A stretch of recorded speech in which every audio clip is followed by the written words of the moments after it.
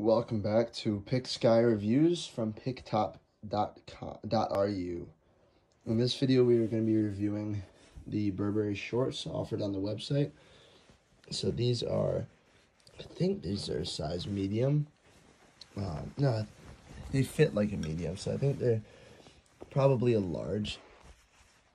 Has the iron on it's a little nicer than iron on. You can actually feel the text. Pockets do not have buttons or anything, but the drawstring is very useful.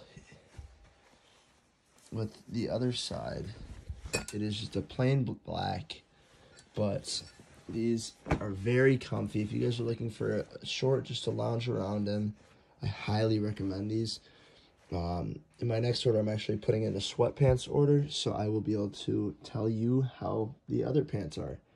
So, as I always say, if you need any help ordering, let me know.